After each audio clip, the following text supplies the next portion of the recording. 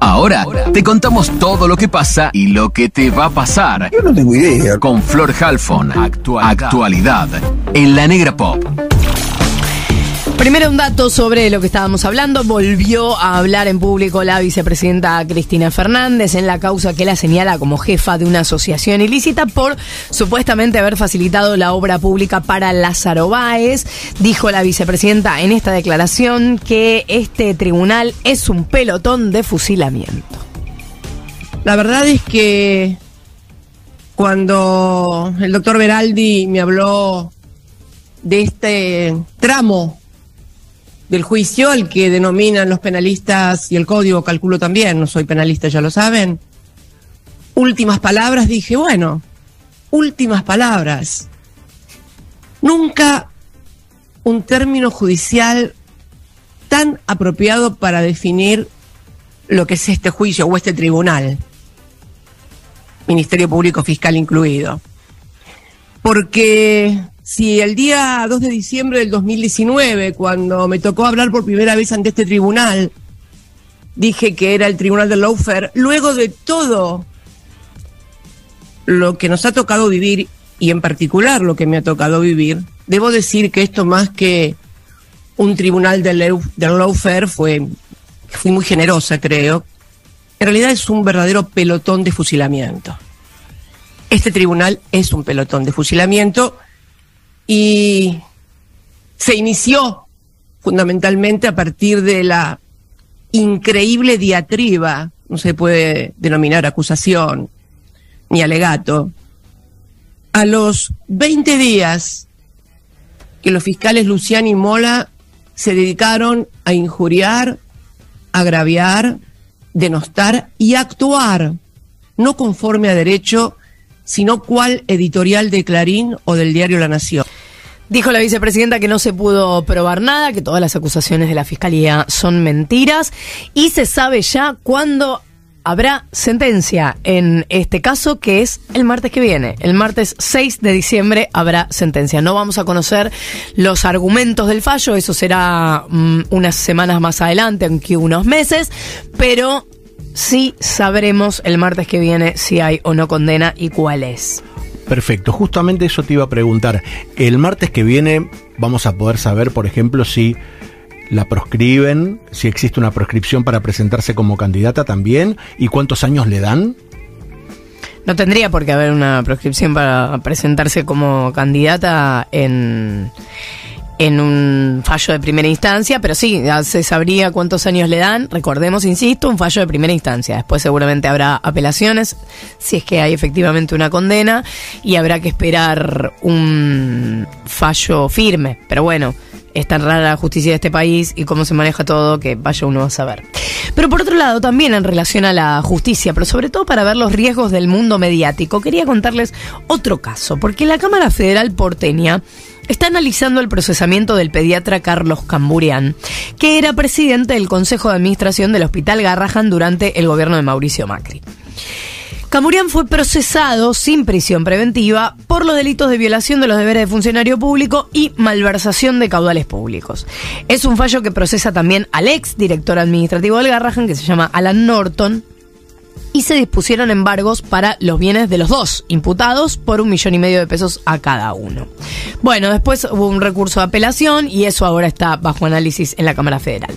Pero lo que estudia la justicia es si estos dos imputados habían robado sumas de dinero del dinero público del Hospital Garrahan para su uso personal, o sea, del Hospital de Niños público para su uso personal.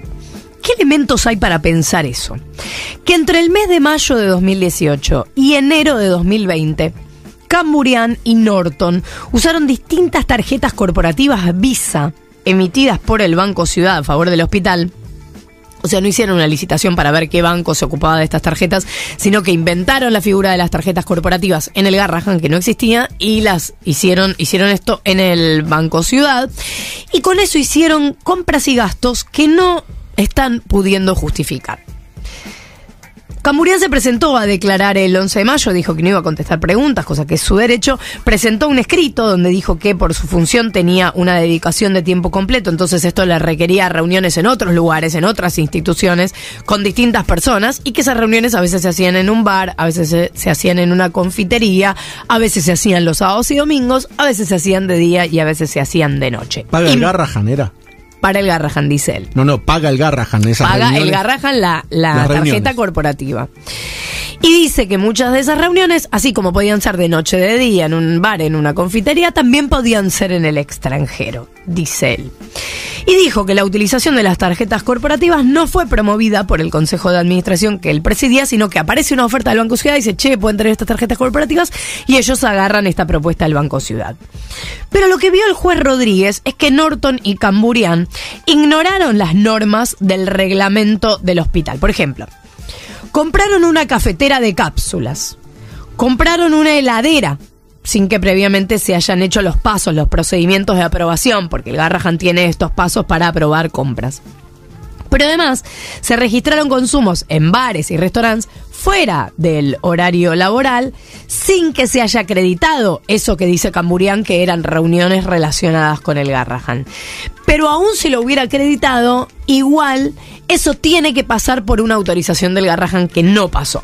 Dice el juez en el fallo que administrativamente se indicó que el hospital nunca tuvo una cultura orga- organizacional orientada a pagar almuerzos o cenas de trabajo en lugares ajenos a los despachos públicos y que dichas prácticas debían ser consideradas como excepcionales y analizadas en cada caso, o sea, no es que podía ser una práctica habitual, cosa que efectivamente sucedía.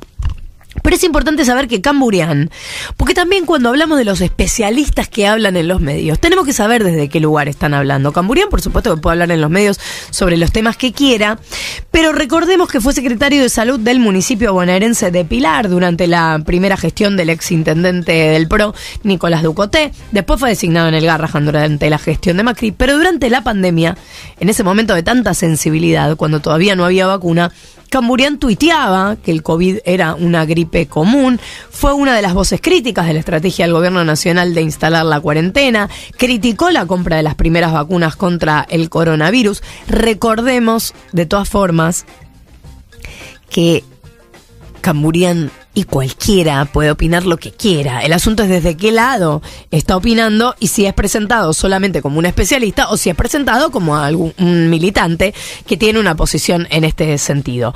Bueno, quiero que escuchen qué decía Camburian respecto de lo que podía pasar con la Sputnik.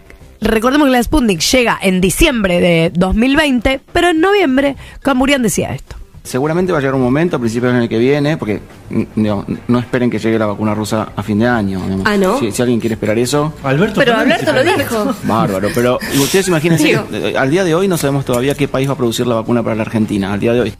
Bueno, después llegó antes de fin de año y este médico el año pasado fue precandidato a concejal de Juntos por el Cambio en el municipio bonaerense de Malvinas, Argentinas, derrotado en las pasos por la alianza opositora. Hoy está cerca de Patricia Bullrich y de Cristian Ritondo. Así que tres premisas básicas en las que estoy segura de que la mayoría de los oyentes van a estar de acuerdo. Cada uno puede opinar lo que quiera, sí. Cada uno debería decir desde qué lugar habla, también. ¿Está mal gastar dinero de un hospital de niños en cosas que no están autorizadas? Recontra sí.